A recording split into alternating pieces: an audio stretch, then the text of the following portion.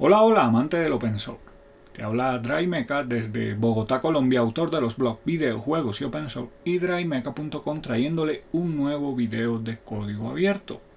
Anteriormente ya había mostrado un video de NetBeans, un IDE con una buena comunidad de desarrolladores, te lo comparto acá arriba, de cómo instalarlo en Fedora y hoy te voy a mostrar las formas posibles de instalarlo en Ubuntu Linux, cualquiera de sus sabores oficiales o derivadas. Bien, este video te lo traigo desde este equipo que es Ubuntu Budgie 2110.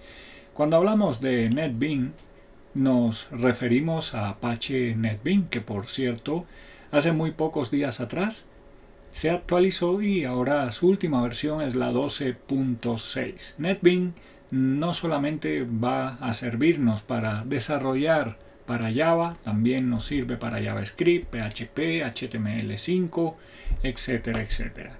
Y bueno, hoy te voy a mostrar qué sencillo es instalarlo en Ubuntu Linux. Bien, entonces cuando miramos aquí en la página de NetBeans vemos que la última versión es la 12.6 eh, y si venimos aquí a la sección de descarga en la página solamente se menciona que bueno aparte de ser multiplataforma porque está para Windows, está para MacOS y está para Linux, pero en Linux básicamente mm, la forma de instalación es un poquito engorrosa porque primero tienes que instalar OpenJDK, después tienes que descargarte el script, ejecutarlo, etcétera, etcétera. Entonces lleva una serie de pasos. Hay dos formas más sencillas de instalar y es por medio del formato portable universal Snap o el formato portable universal Flatpak. Cualquiera de los dos te va a servir siempre y cuando tu distribución tenga soporte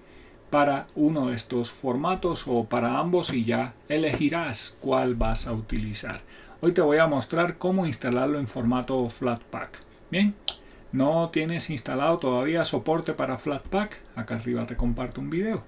Muy bien, entonces vamos aquí a esta máquina que es Ubuntu Budgie 21.10 también, bien, totalmente actualizada. Entonces, como ya tengo aquí el soporte de Snap y tengo soporte Flatpak, es muy sencillo. Solamente tenemos que abrir la tienda de nuestra distribución, en este caso Ubuntu Budgie. Bien, aquí está. Venimos aquí al botón de búsqueda, escribimos NetBeans y nos aparecen dos. ¿Por qué nos aparecen dos? Bueno, como viste está en formato Snap y está en formato Flatpak. Este de aquí arriba es el que está en formato Flatpak, la versión 12.6, la última en este momento, y el de aquí debajo es el que está en formato Snap, que también está en la última versión 12.6. Ya es cuestión de decidir cuál de los dos vamos a instalar, en este caso lo voy a hacer en formato Flatpak. Bien. Le damos clic a instalar. Con lo cual se va a descargar e instalar de forma totalmente automática. Mientras descarga e instala, vámonos por un café. Muy bien, ya terminó la descarga e instalación totalmente automática de NetBeans en nuestra distro Ubuntu Budgie, bien, 21.10 lo instalamos en formato Flatpak y ya está disponible para su uso. Aquí como ves cambiaron los botones, ahora nos dice eh, lanzar o desinstalar. Bueno, esta, esta, esta máquina virtual la instalé en inglés, por lo cual nos salen los mensajes así en inglés. Bien, si la tienes en español, tu máquina te va a salir en español. Entonces, para abrirlo, muy fácil, lo podemos hacer buscando por el menú o aquí mismo en este botón de ejecutar. Al darle clic nos va a aparecer ya NetBeans, ahí está cargando, versión 12.6 Apache NetBeans IDE. Bien, esperamos mientras termina de cargar.